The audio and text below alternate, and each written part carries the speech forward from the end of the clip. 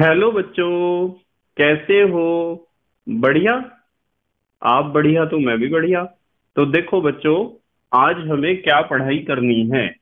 आज है बेटे हमारे पास क्लास ट्वेल्थ का, यूनिट नंबर ग्यारह का, वीडियो नंबर सत्रह। तो बेटे ये ग्यारहवें यूनिट का सत्रहवा वीडियो है और इससे पहले सोलह वीडियो आपको प्लेलिस्ट में भी मिल जाएँगे।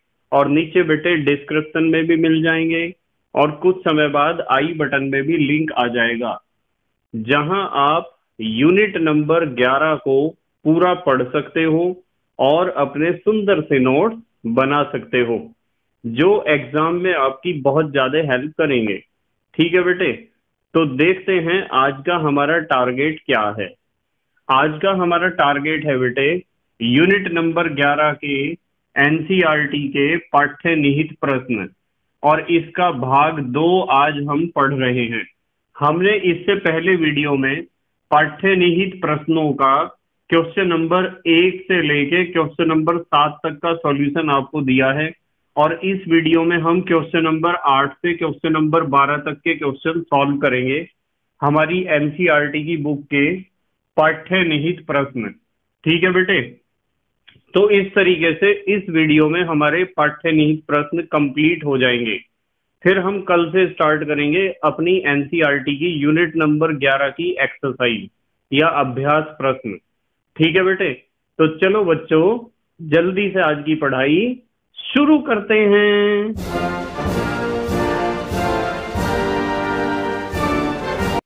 तो बेटे, आज हमें पढ़ना है यूनिट नंबर 11 के पाठ्य निहित प्रश्नों को और क्वेश्चन नंबर आठ से आज हमें स्टडी करने हैं। ठीक है बेटे? तो देखते हैं। आज हमारे पास है यूनिट नंबर यूनिट नंबर ग्यारह के एनसीईआरटी के एनसीईआरटी एनसीईआरटी के पाठ्य निहित प्रश्न। पाठ्य निहित प्रश्न। और ये है बेटे क्वेश्चन नंबर आठ से क्वेश्चन नंबर बारह तक। ये चीज़ आज हमें डिस्कस करनी है। यूनिट नंबर ग्यारह, एनसीईआरटी पाठ्य निहित प्रश्न, क्वेश्चन नंबर एक, आठ से लेकर और क्वेश्चन नंबर बारह तक। ठीक है बेटे? तो पहले देखते हैं हम क्वेश्चन नंबर आठ। ध्यान से देखियो जरा सब। क्वेश्चन नंबर आठ देखते हैं। इन्होंने कहा है ऑर्थो व पैरा नाइट्रोफिनॉल। ओर्थो व पैरा नाइट्रोफिनॉल। ओर्थो व पैरा नाइट्रोफिनॉल। फिनॉल से अधिक अम्लीय होते हैं। बिल्कुल सही बात है। फिनॉल से अधिक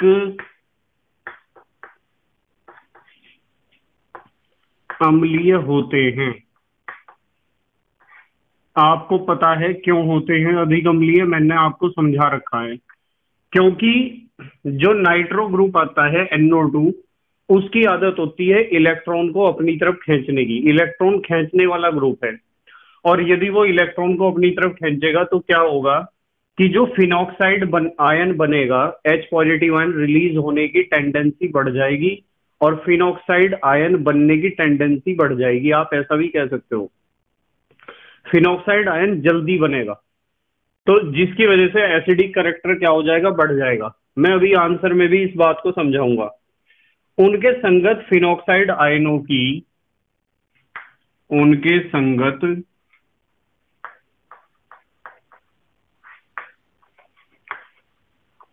फिनॉक्साइड आयनों की आयनों की जगह आयन लिख दिया बेटे मैंने। फिनोक्साइड आयनों की अनुनादी संरचनाएँ बनाइए अनुनादी संरचनाएँ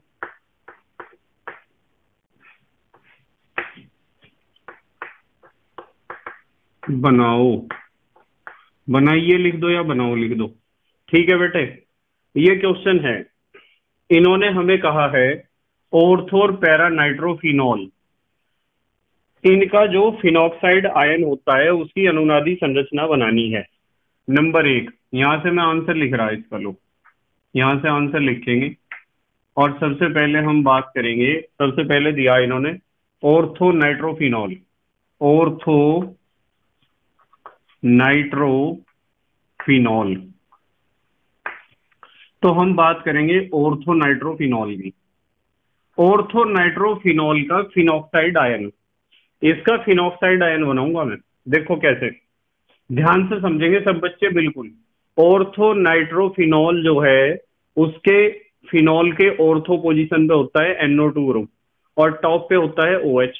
तो ओ OH का यदि एच पॉजिटिव निकल गया तो आपके पास फिनॉक्साइड आयन बचेगा। क्या बचेगा? Phenoxide ion. तो ऑर्थो नाइट्रोफिनॉल से बनने वाला जो फिनोक्साइड आयन होता है ना बेटे, वो ऐसा होता है, देखो ध्यान से। ये तो आपका रिंग है, बेंजीन रिंग, इस तरह मैं बना देता हूँ इसे। और इसके टॉप पे होता है ओ OH पर ओ OH का हमने एच पॉजिटिव निकाल दिया है तो यहाँ क्या बचेगा? ओ नेगेटिव और ऑर्थो पोजीशन पे है NO2 NO2 किस तरह है? एक तो डबल बॉन्ड करके ऑक्सीजन जोड़ दिया। एक सिंगल बॉन्ड ओ नेगेटिव और N के ऊपर होता है पॉजिटिव चार्ज क्योंकि देखो चार बॉन्ड बना रखे हैं इसने तो पॉजिटिव चार्ज होगा जब तो चार बॉन्ड बनाए हैं।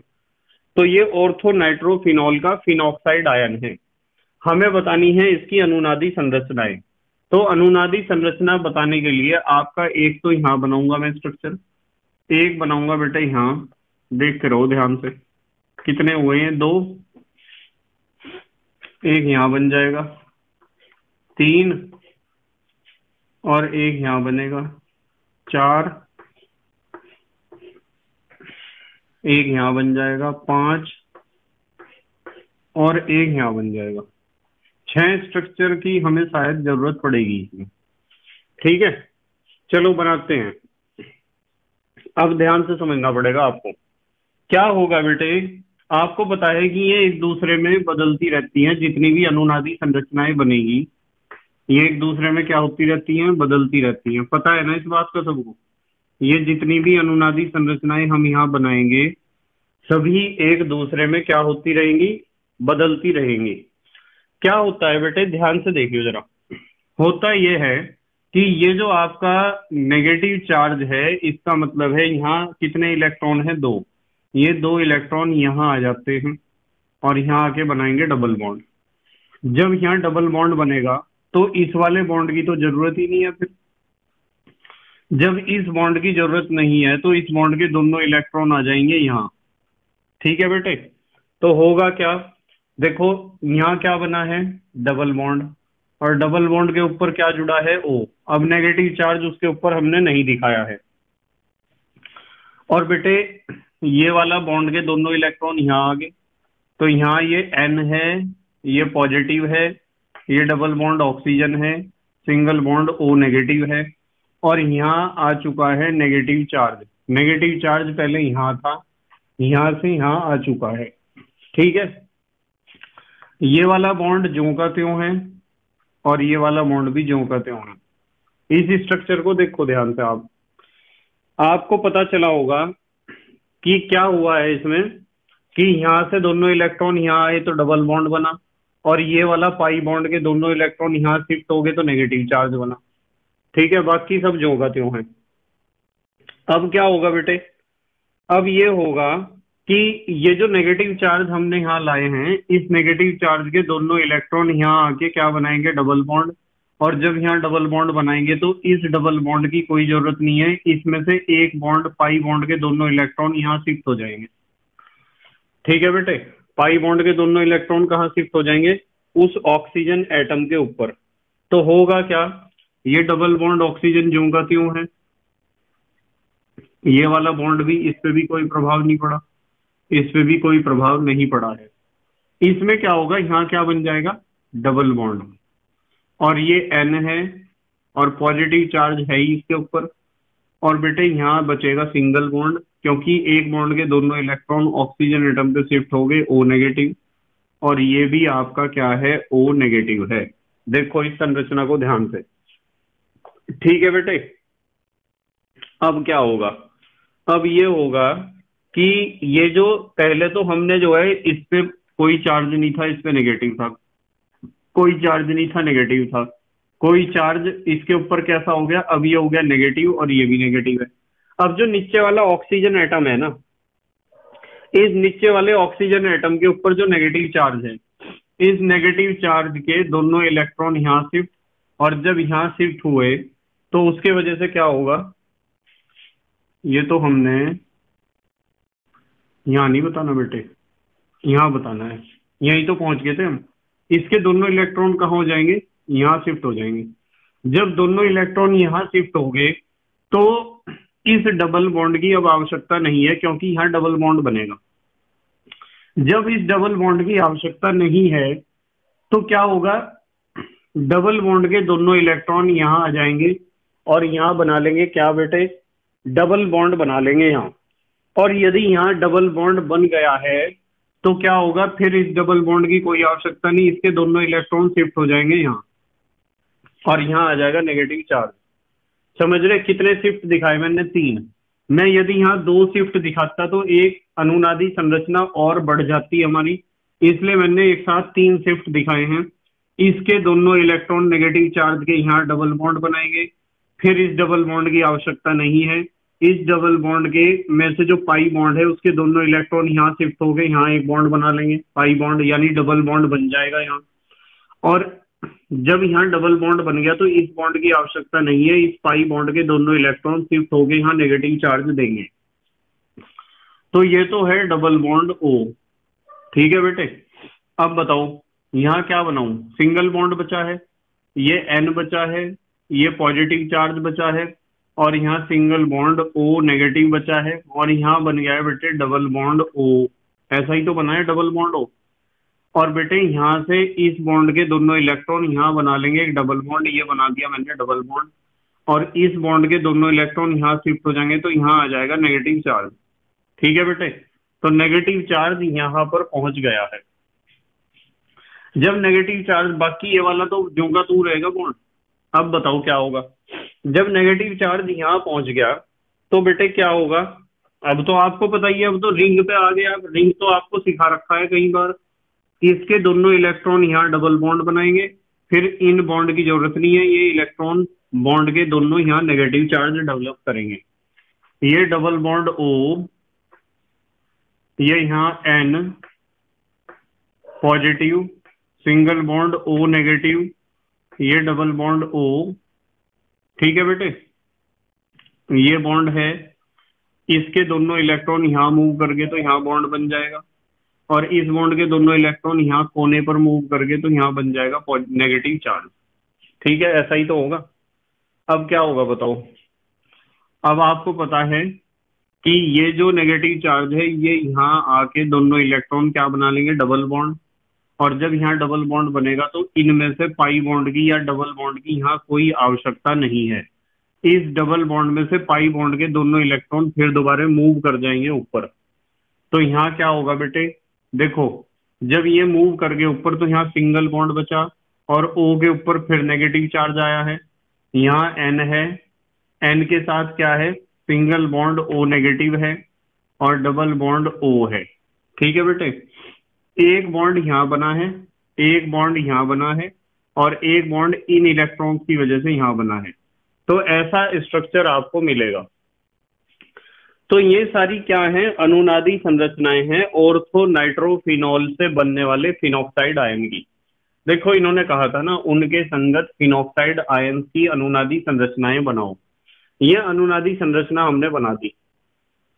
अच्छा ये तो ऑर्थो नाइट्रोफिनॉल की थी। इन्होंने ऑर्थो के साथ पैरा भी तो कहा था, पैरा नाइट्रोफिनॉल। तो पैरा नाइट्रोफिनॉल की भी बनानी पड़ेगी। नंबर दो लिख रहा मैं। नंबर दो। Para nitro phenol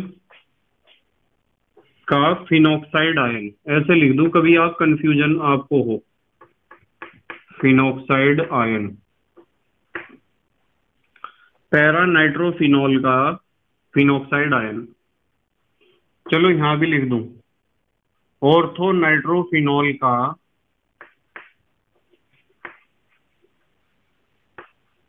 phenoxide ion. ठीक है बेटे? कभी आप कंफ्यूज हो जाओ नोट्स बनाते हुए कि ये तो सर ऑर्थो नाइट्रोफिनॉल नहीं है और जो मैं नीचे बनाऊँगा उसे समझोगी पैरा नाइट्रोफिनॉल नहीं है। देखो, ये हमारा बेंजीन रिंग है। ध्यान से देखियो जरा सब। थोड़ा सा साइड में बनाऊँगी इसे ये हमारा है बेंजीन रिंग यहाँ बना दिया थोड़ा। एक एक बेंजीन रिंग यहाँ बनेगा। दो, एक बेंजीन रिंग यहाँ बनेगा। तीन एक बेंजीन रिंग यहाँ बनेगा। चार और पाँच और छ ये बना दिए बेंजीन रिंग हमने छ हमें पता है जो संरचनाएँ बनेगी वे एक दूसरे में बदलती रहेंगी, क्योंकि ये अनुनादी संरचनाएँ हैं। क्या है बेटे? अनुनादी संरचनाएँ रेजोनेटिंग स्ट्रक्चर अब देखो, ओ, ये है पैरा पैरा नाइट्रोफिनॉल। आपको बताएँ, यहाँ तो ओ नेगेटिव होगा। एक बॉन्ड एक बॉन्ड और एक बॉन्ड इस तरह के बॉन्ड होंगे।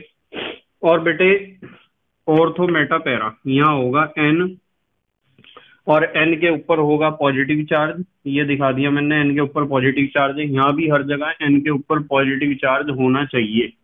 ठीक है, यहाँ भी क्या होना चाहिए? एन के ऊपर पॉजिटिव चार्ज ये चीज़ ध्यान रखनी है आपको। और इसके ऊपर दो ऑक्सीजन जुड़े होंगे।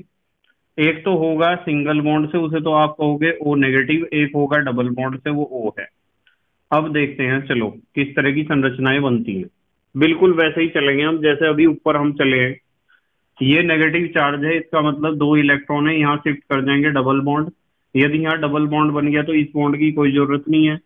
इस बॉन्ड के दोनों इलेक्ट्रॉन शिफ्ट करके यहाँ देंगे नेगेटिव चार्ज तो ये तो डबल बॉन्ड करके हमने ओ बना दिया। और यहाँ शिफ्ट हो गए इलेक्ट्रॉन तो ये बना दिया यहाँ नेगेटिव चार्ज अब क्या हुआ बेटे? यहाँ बॉन्ड है, यहाँ बॉन्ड है, ये है आपका एन पॉजिटिव यहाँ सिंगल बॉन्ड से जुड़ा है ओ नेगेटिव और डबल बॉन्ड से जुड़ा है ओ ठीक है? अब क्या होगा बताओ? आपको साफ़ पता है कि यहाँ से जो है, ये दोनों इलेक्ट्रॉन यहाँ शिफ्ट होकर डबल बॉन्ड बनाएँगे।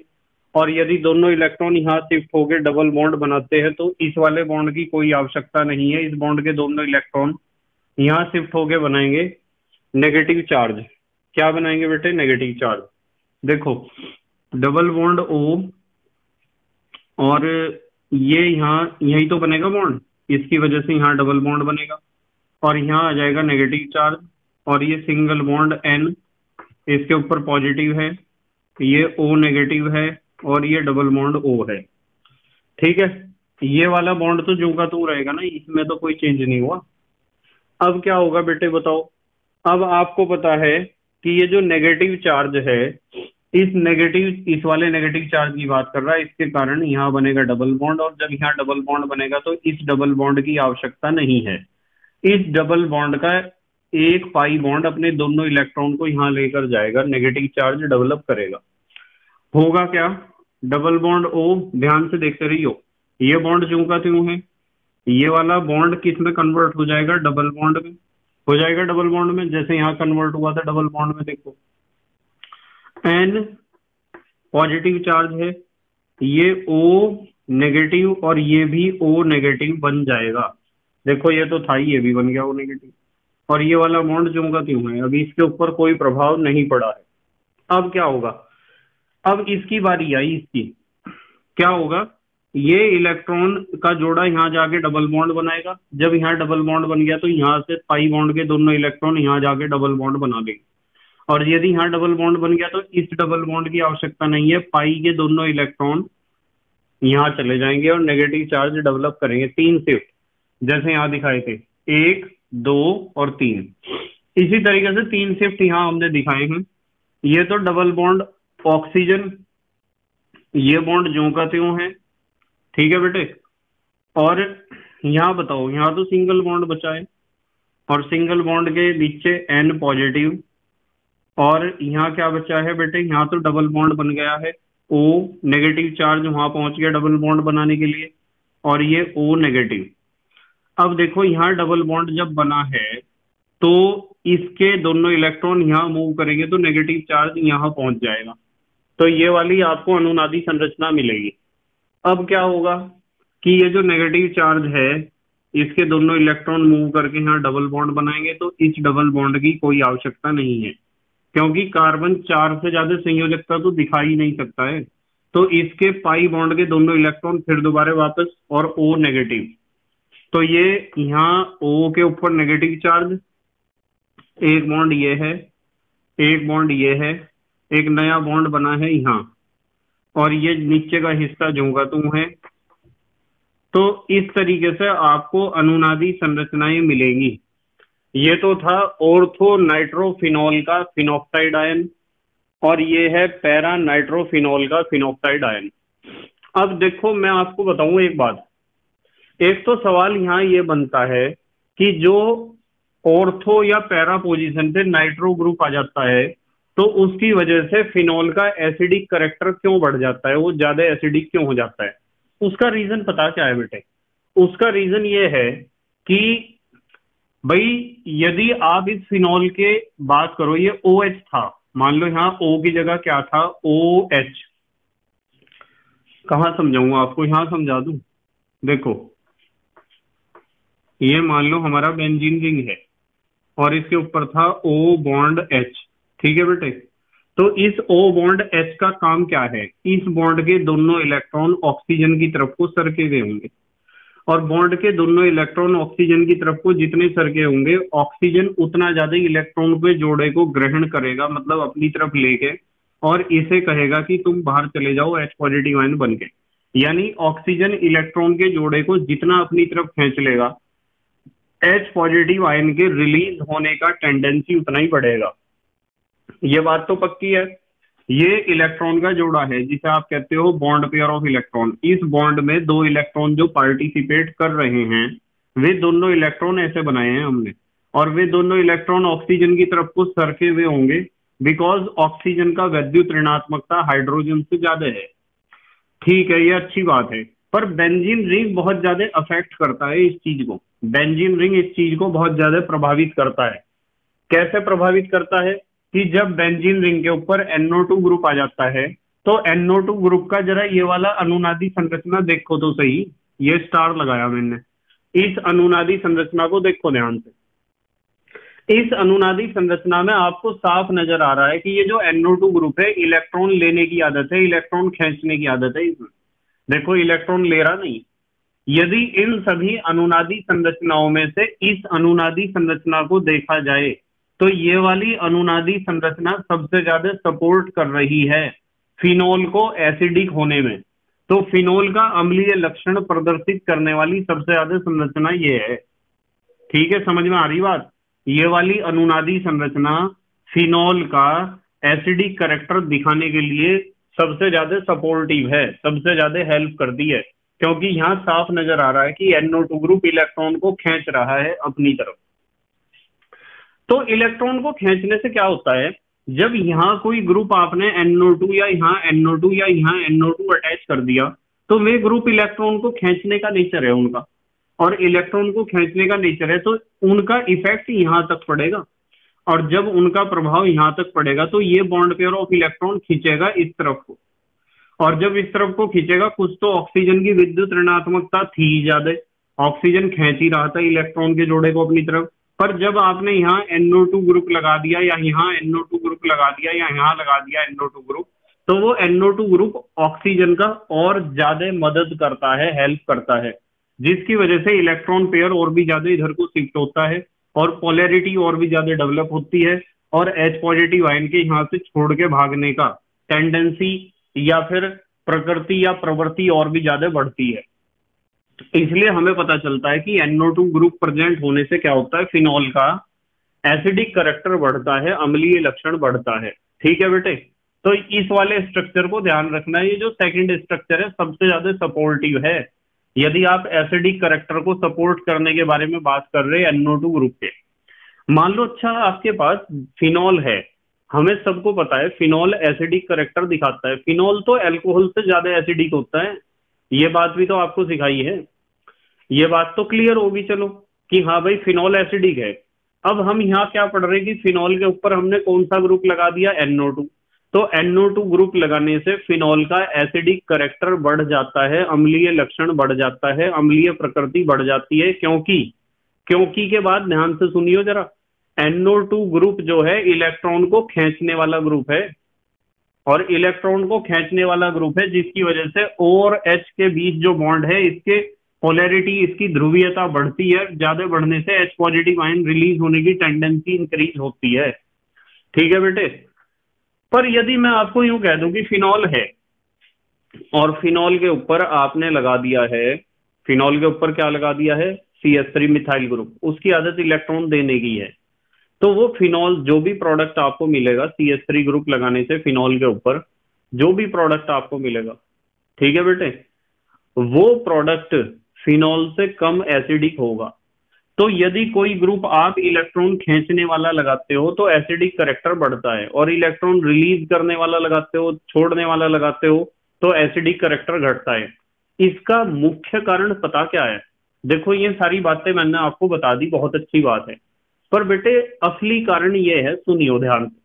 असली कारण ये है कि जो फिनॉक्साइड आयन बनेगा ना NO2 ग्रुप लगाने के बाद जो फिनॉक्साइड आयन बनेगा वो फिनॉक्साइड आयन ज़्यादा स्टेबल होगा, ज़्यादा स्थायी होगा।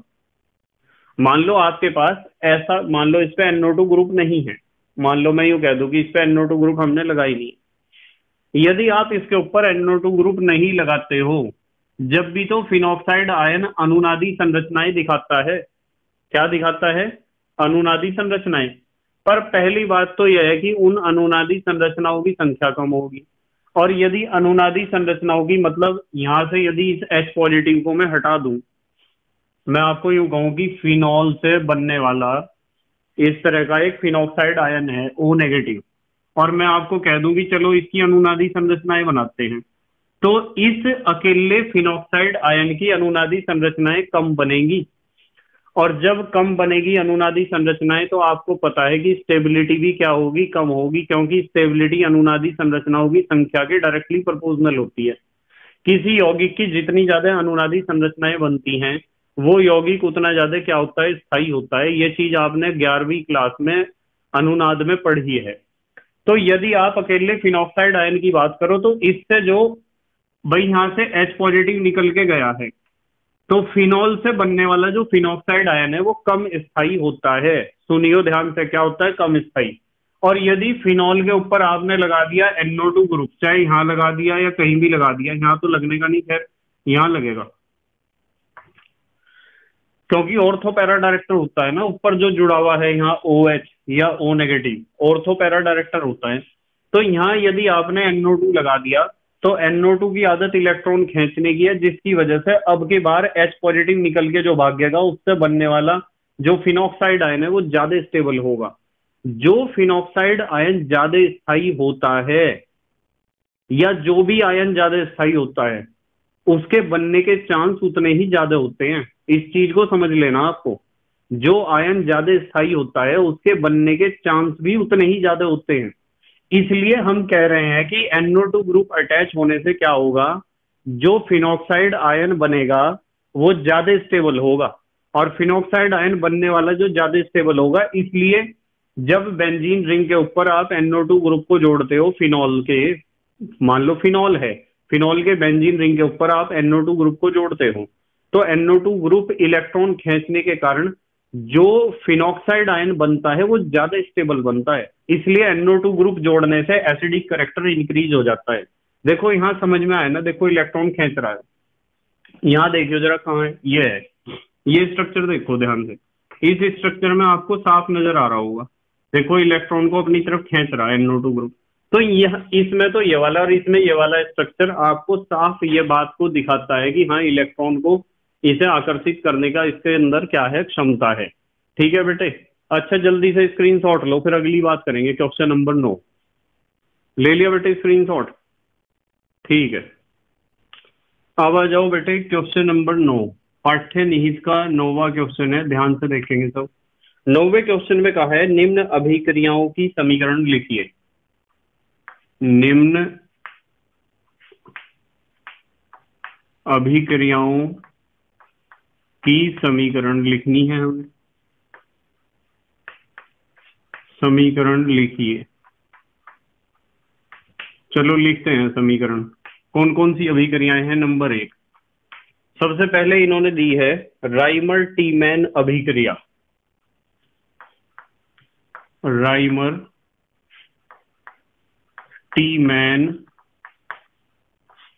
अभिक्रिया। बहुत इंपॉर्टेंट रिएक्शन है। मैंने आपको पहले भी कई बार पढ़ाई है।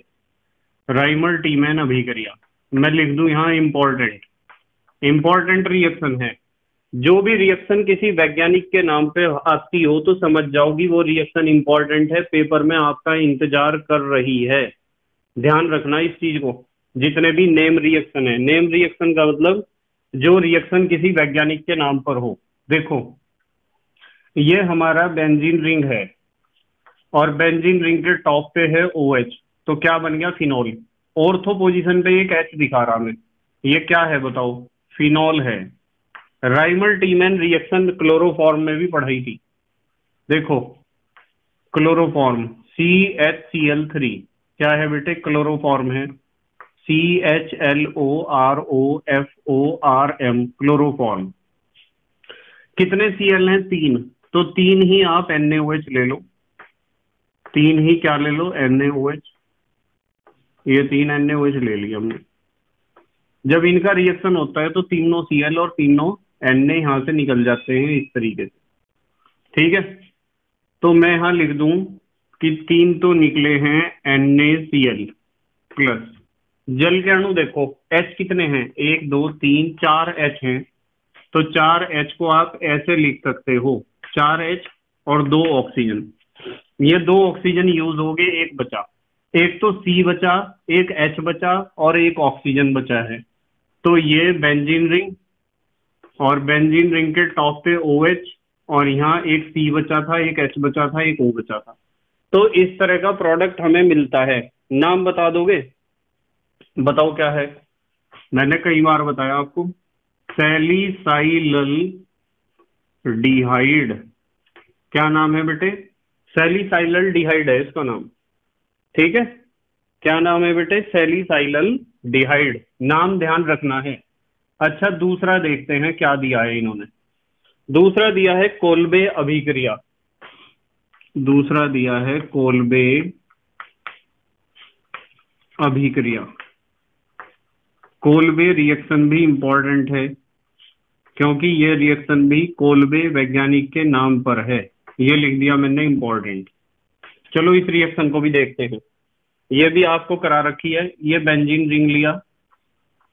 और बेंजीन रिंग के टॉप पे हमने लिया ओ एच ऑर्थो पोजिशन पे एक एच दिखाया है।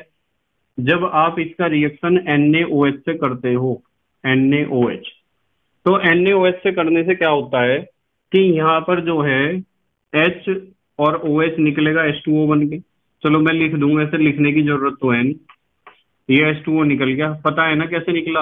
यहाँ से एच और यहाँ से ओ एच और आपका एन ए आ जाएगा वहाँ। सोडियम फिनॉक्साइड बन गया ये। भाई, ये तो फिनॉल था। यहाँ लिख सकते हो आप क्या था ये? फिनॉल और ये क्या बन गया? सोडियम फिनॉक्साइड ये सोडियम फिनॉक्साइड बन गया। अब ये जो सोडियम फिनॉक्साइड बना है इसके ऊपर आपको दो काम करने हैं। नंबर एक तो आप CO2 का रिएक्शन करा दो और नंबर दो आप एसिड का रिएक्शन करा दो, यानी अम्लीय माध्यम में। इससे क्या होगा कि ये यहाँ रिएक्शन करेगा और यहाँ से निकल जाएगा एन ए पॉजिटिव और इस बेंजीन रिंग के टॉप पे आ जाएगा क्या? ओ OH फिनॉल आ गया। और सीओ टू यदि यहाँ एच था ये एच दिखाएगा ना सी डबल ओ एच यहाँ आ जाएगा सी डबल ओ एच तो बेंजीन रिंग बेंजीन रिंग के टॉप पे क्या है? ओ OH है और ऑर्थो पोजीशन पे क्या है? सी डबल ओ एच तो ये तो क्या बना बताओ इसे भी मैंने आपको सिखाया था। सैलिसाइलिक एसिड क्या बना बेटे? सैलिसाइलिक एसिड बना है। तो इस तरीके से आपको ये दोनों रिएक्शन याद रखनी है। ये था हमारा क्वेश्चन नंबर नौ।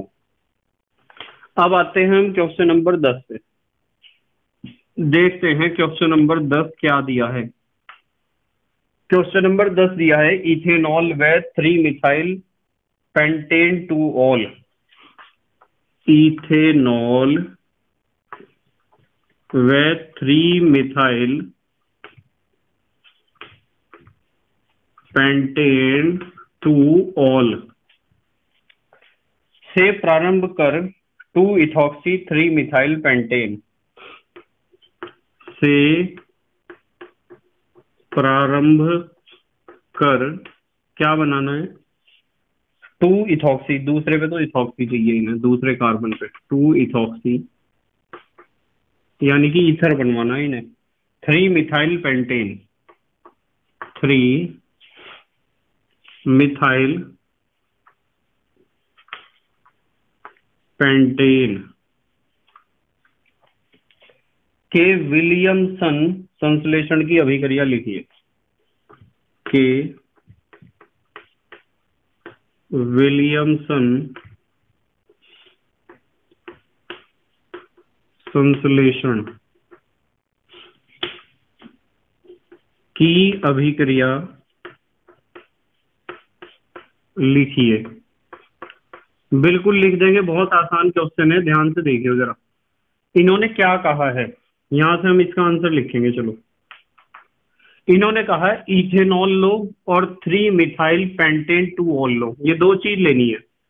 और इनसे आपको बनाना है two ethoxy three methyl pentane यानी एक ऐसा पेंटेन बनाना है, जिसके दूसरे नंबर पे तो इथॉक्सी हो और तीसरे नंबर पे मिथाइल हो।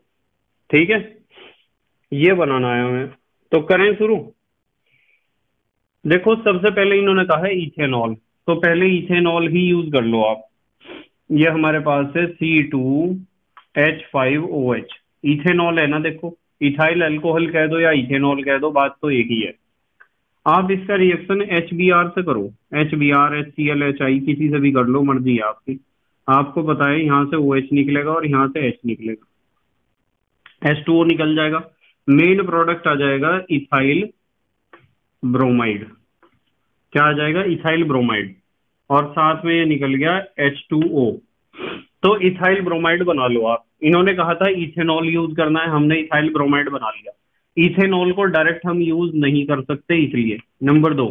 फिर कहा इन्होंने three methyl pentane two ol three methyl pentane pentane माने पाँच कार्बन एक, दो तीन। तीसरे पे इन्होंने क्या कहा है? मिथाइल। ये जोड़ दिया मिथाइल। और दूसरे पे कहा है इन्होंने टू ऑल। ओ एच जोड़ दिया। और ये सी एस थ्री है ये देखो, one, two, three, four, five. देखो, थ्री पे मिथाइल है, टू पे ऑल है। तो थ्री मिथाइल हाँ थ्री मिथाइल। पेंटेन हाँ पाँच कार्बन है। टू ऑल माने दूसरे नंबर पे ओ OH है। इसका भी हमें यूज़ करना है। तो आप इससे जो है, एक काम कर लो, इसका रिएक्शन सोडियम धातु के साथ करो। जब सोडियम के साथ करोगे तो आपको पता है, विद्युत रासायनिक श्रेणी में सोडियम ऊपर है हाइड्रोजन से। ये सोडियम जो है, इस हाइड्रोजन को हटा देगा इसकी जगह से। तो यहाँ निकलेगा माइनस करके मैं एच पॉजिटिव लिख सकता हूँ। और यहाँ एन ए आ जाएगा। ये आ जाएगा सी एच थ्री फिर सी एच टू फिर सी एच इसके नीचे क्या है? सी एच थ्री है। फिर सी एच है, इसके नीचे ओ एच था। ओ एच की जगह क्या आ जाएगा? ओ एन ए और फिर सी एच थ्री है। इस तरह का कंपाउंड बनेगा हमारे पास। ये जो कंपाउंड बना है, इसका नाम आप लिख सकते हो। क्या नाम लिख सकते हो? Sodium three methyl pentoxide. भाई, सोडियम पेंटॉक्साइड ही तो है। पर तीसरे नंबर पे मिथाइल है वन टू थ्री सोडियम का पेंटॉक्साइड है। तो सोडियम पेंटॉक्साइड लिखना चाहिए था, पर तीसरे नंबर पे मिथाइल भी तो आ गया। तो इसे ब्रैकेट में लिख दो आप।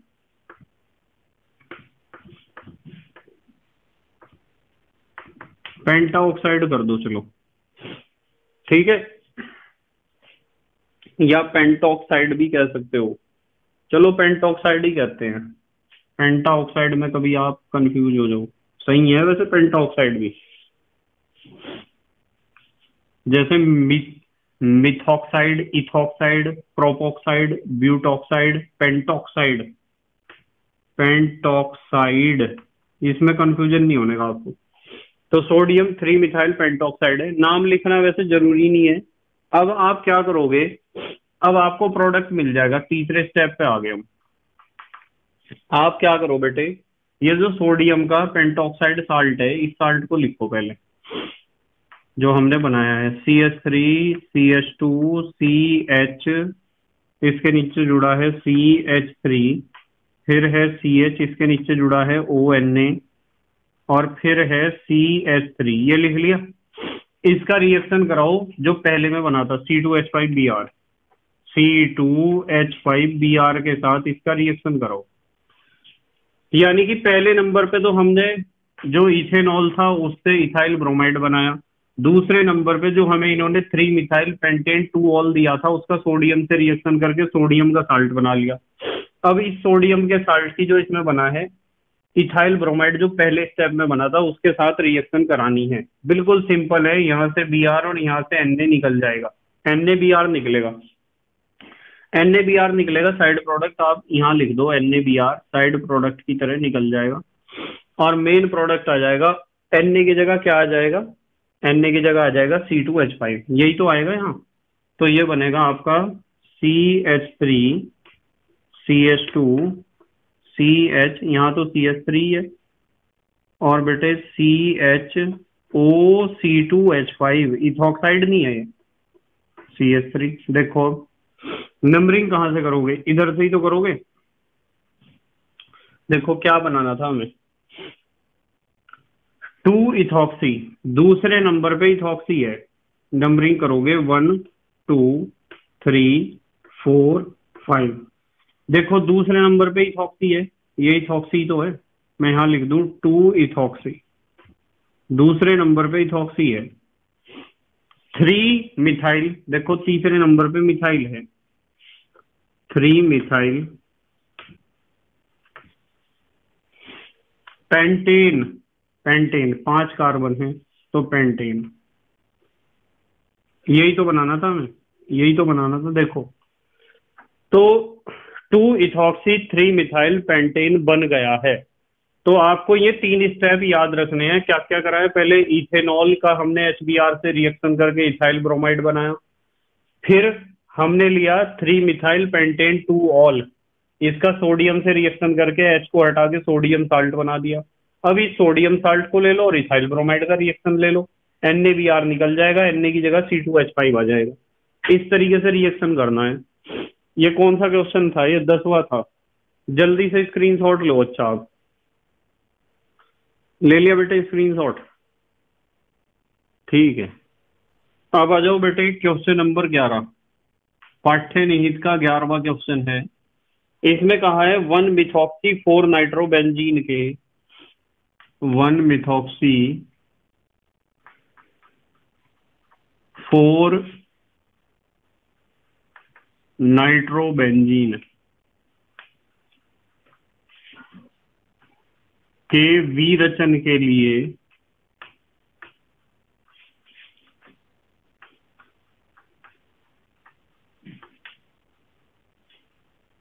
निम्न में से, निम्न में से,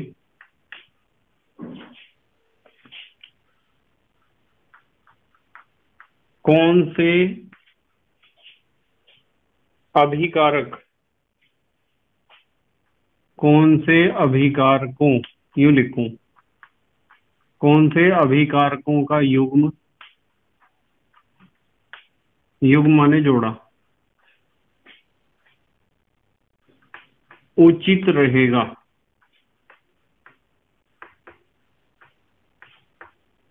कौन से अभिकारकों का युग्म उचित रहेगा, ये बताना है।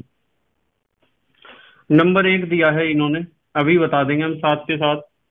नंबर एक दिया है ये, बेंजीन रिंग है। और बेंजीन रिंग के टॉप पे दिया है B are.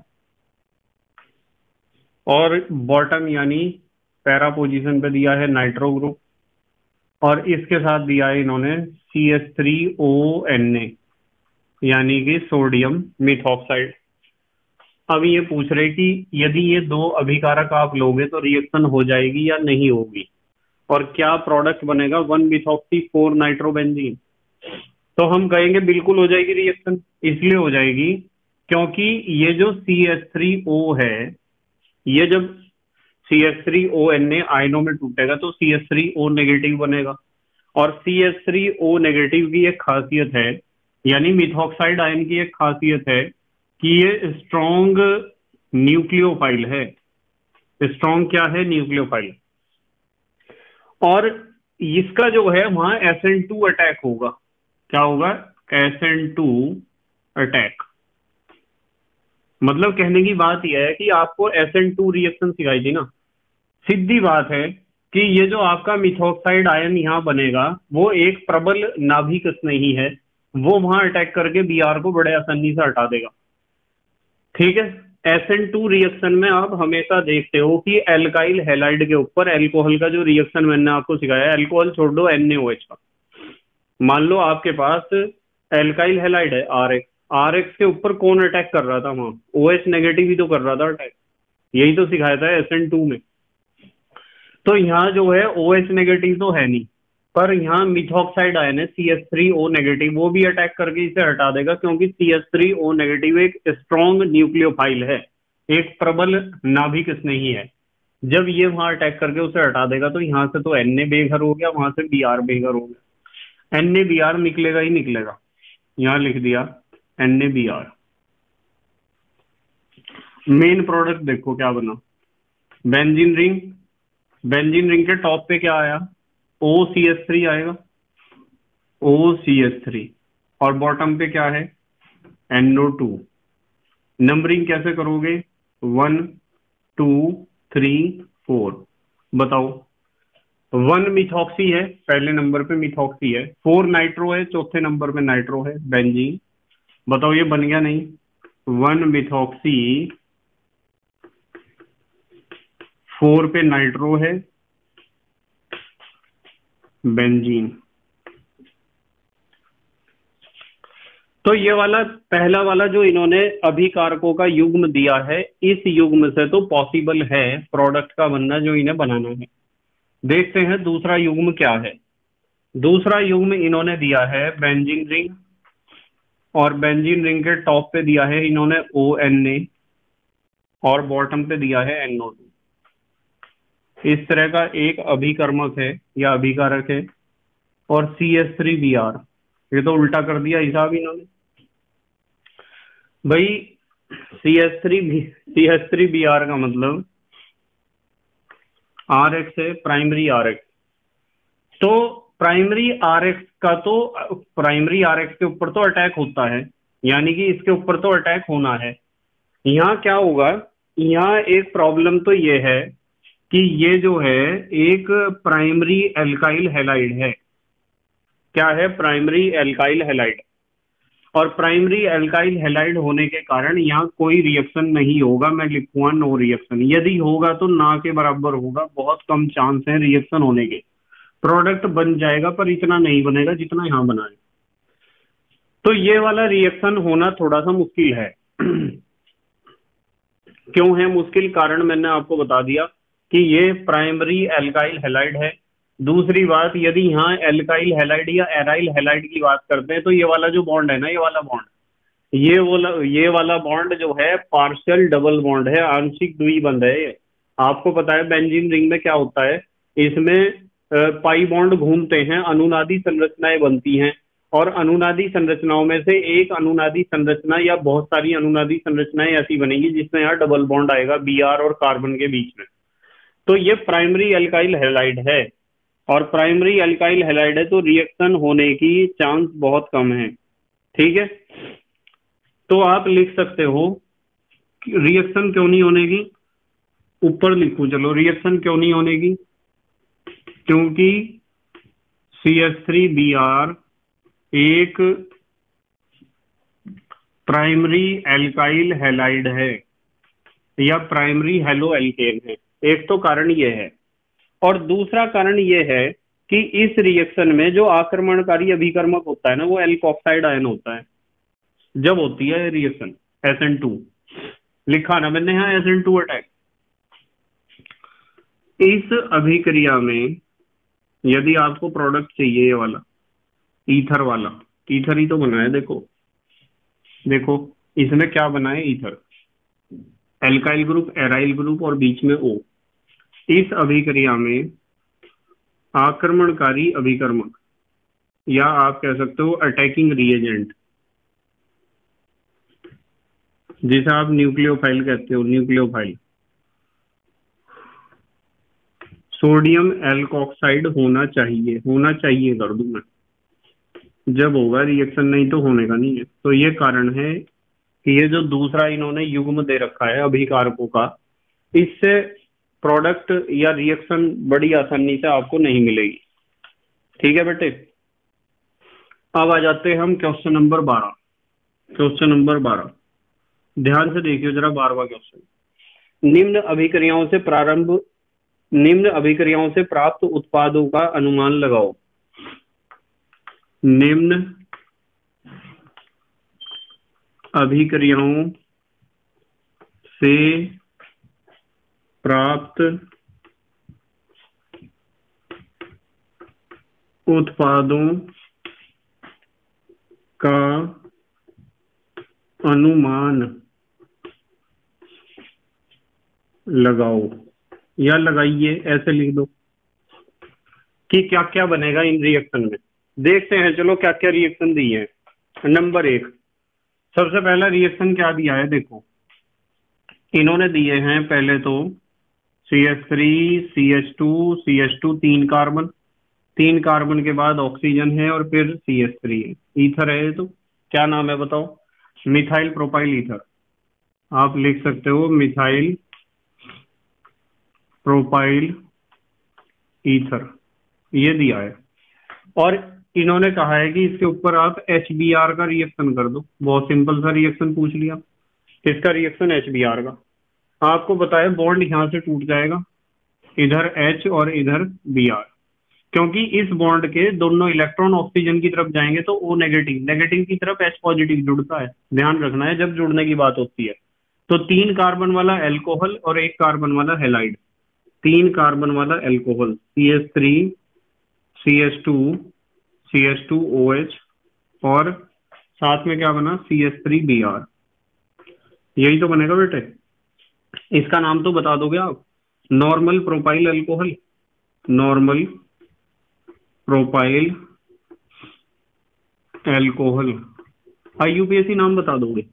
One two three propane one ol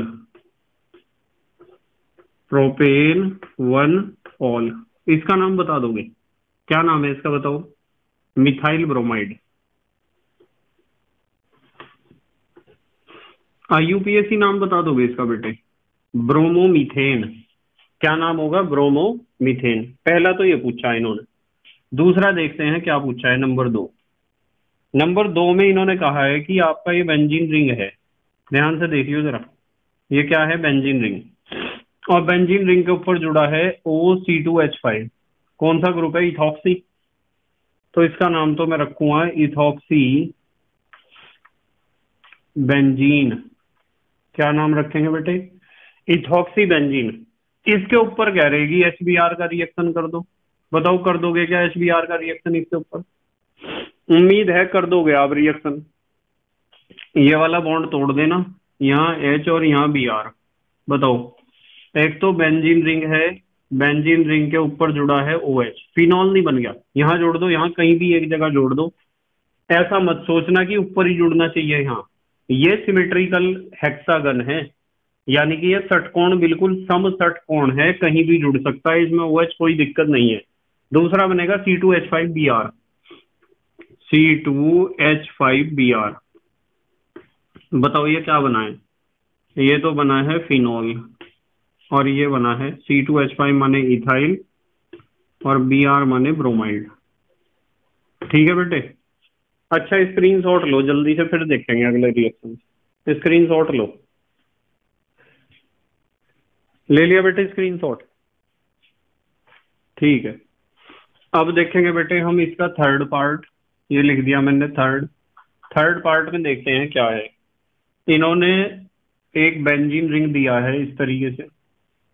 ये बना लिया हमने बेंजीन रिंग और यहाँ दिया है इन्होंने O C two H five क्या है बेटे? वो ये तो इथॉक्सी बेंजीन है।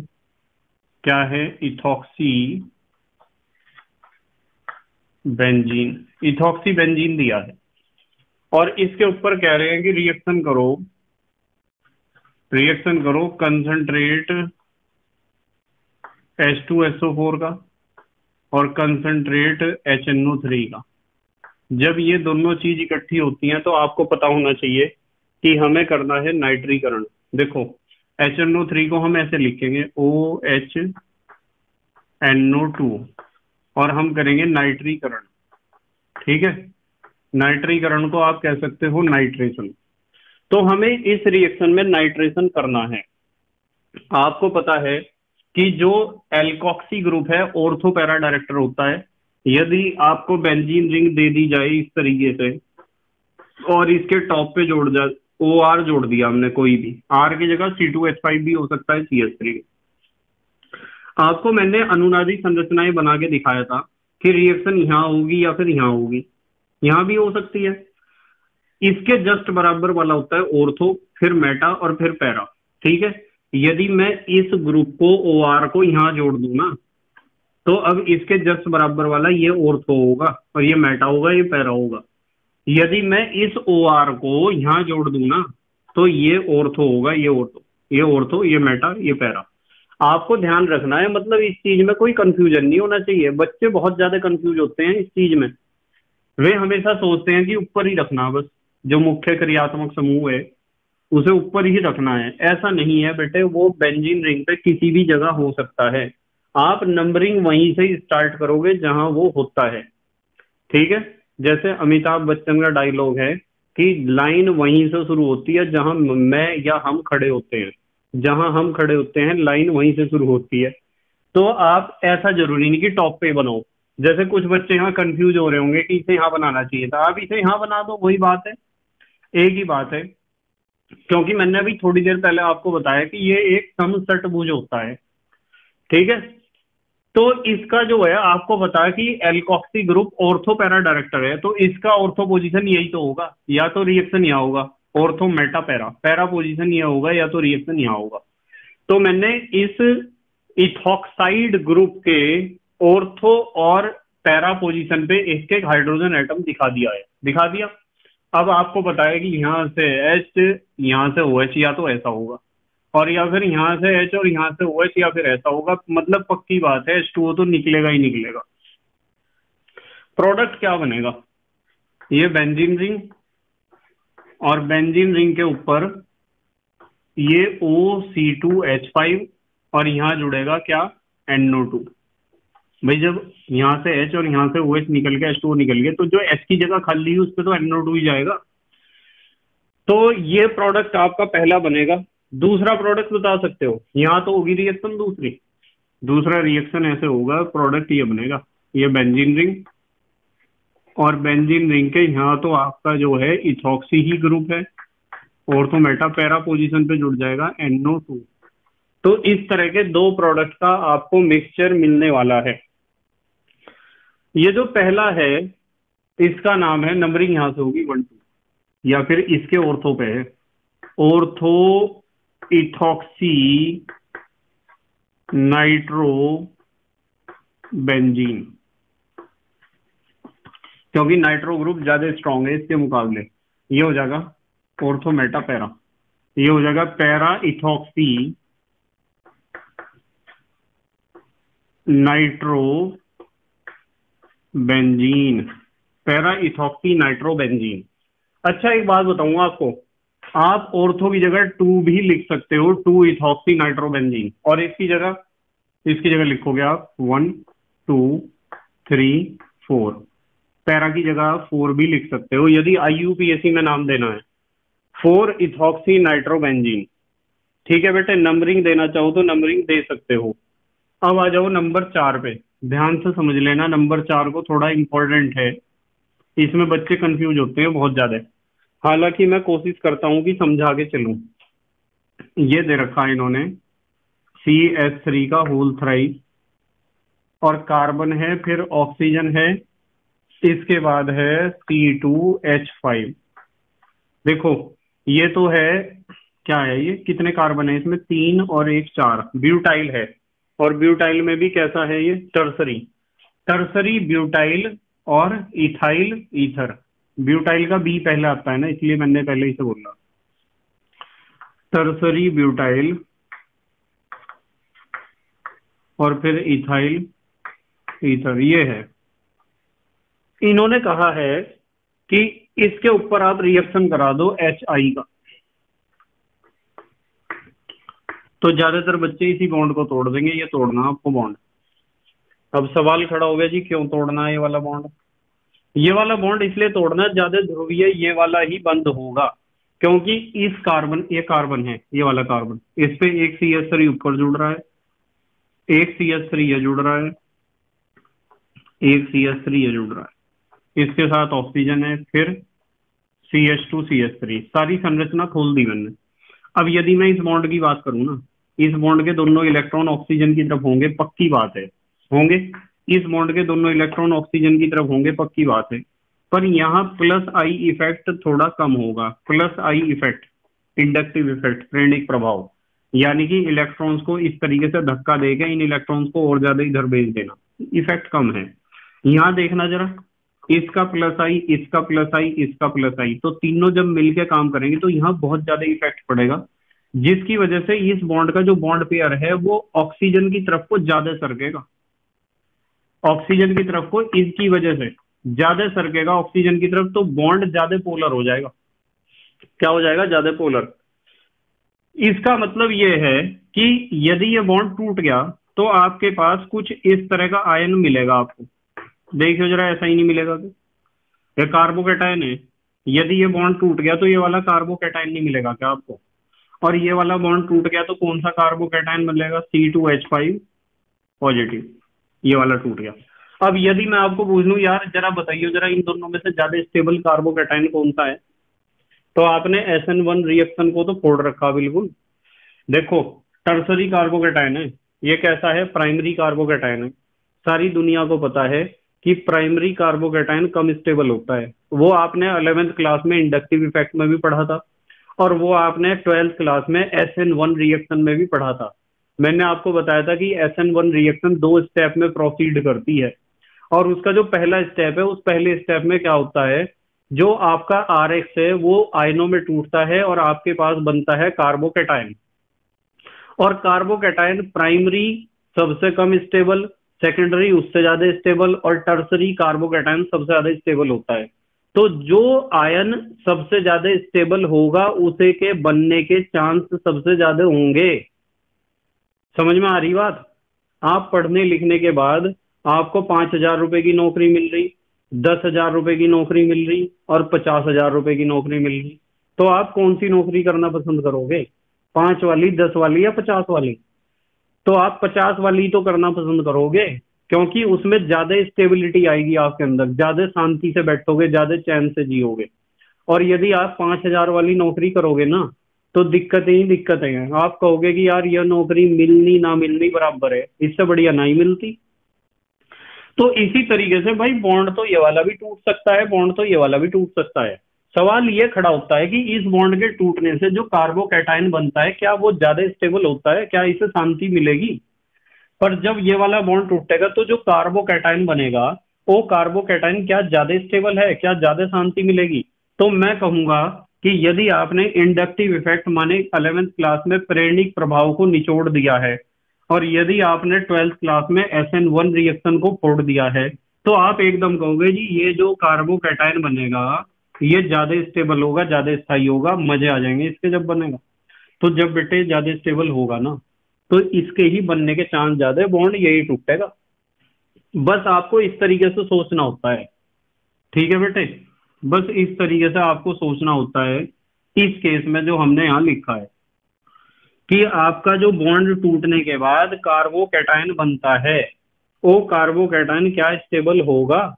तो इसलिए मैंने इसे तोड़ा है। अब आपको सबको पता है कि इस बॉन्ड के दोनों इलेक्ट्रॉन ऑक्सीजन ले जाएगा तो ऑक्सीजन नेगेटिव नेगेटिव पे कौन जुड़ेगा? पॉजिटिव ये वाला। और इस पे कौन जुड़ेगा? ये। तो यहाँ क्या बनेगा? ये तो जो है, इसके ऊपर आई बना दो आप। सी एच थ्री का होल थ्राइज जो होता है ना, इसे तीनों को अलग अलग भी लिख सकते हो। C H three C H three C H three और सी है, और उसके ऊपर जुड़ गया आई यहाँ तो सिंगल बॉन्ड लगाना नहीं चाहिए। यहाँ नहीं बॉन्ड लगाना चाहिए, क्योंकि कार्बन की फिर संयोजकता में कंफ्यूजन हो जाएगा ना आपको। तो इसलिए मैं यहाँ सी लिख दूँ बस मिला के, और यहाँ लिख दूँ आई साथ में क्या बनेगा, यूँ बताओ। C two H five O H C two H five O H ये बनेगा। ये जो पहला प्रोडक्ट बना है टर्सरी ब्यूटाइल आयोडाइड है। टर्सरी ब्यूटाइल आयोडाइड अच्छा एक बात बताऊँ। टर्सरी को इस तरह भी लिखते हैं कुछ बुक्स वाले। टर्सरी ब्यूटाइल आयोडाइड आईयूपीएससी नाम तो लिख ही दोगे। लिख दोगे आईयूपीएससी नाम? देखो कार्बन एक सी एस थ्री ऊपर है एक सी एस थ्री नीचे है एक सी एस थ्री इधर है तीन है ना और इधर है। नंबरिंग वन टू थ्री ऐसे ही तो करोगे। दूसरे पे मिथाइल है दूसरे पे आइडो है। K L M N O P Q R S T A B C D E F G H I I पहले आया। Two iodo two methyl propane two iodo two methyl propane देखो A B C D E F G H I J K L M आई पहले आया M बाद में। इसका नाम बताओ C two H five ethyl O H alcohol ethyl alcohol है, या आई यू पी सी में इसका नाम होता है इथेनॉल ठीक है बेटे? तो इस तरीके से आपको नाम लिखने की भी थोड़ी सी प्रैक्टिस करते रहना चाहिए। ठीक है बेटे। अब हमारे देश के प्यारे प्यारे बच्चे जल्दी से स्क्रीनशॉट लेंगे। ले लिया बेटे स्क्रीनशॉट ठीक है। तो बेटे, मुझे उम्मीद है कि आज के क्वेश्चन आपके समझ में आए होंगे। आप बेटे, बस एक बात का हमेशा ध्यान रखना कि जो बच्चा मेहनत और ईमानदारी से काम करेगा, पढ़ाई करेगा उसका भविष्य बहुत अच्छा होगा। इस बात की हंड्रेड परसेंट गारंटी है। ईश्वर हमारी परीक्षा लेता है, भगवान, गॉड, अल्लाह हमारी परीक्षा लेता है। वो देखता है कि ये बच्चा कितनी जल्दी टूट जाएगा मेहनत करने से। यदि आप लगातार मेहनत करते रहोगे तो आपको सफलता मिलेगी। इस बात की हंड्रेड परसेंट गारंटी है। उसमें देर हो सकती है, पर अंधेर नहीं हो सकती। इस बात का ध्यान रखना है हमेशा।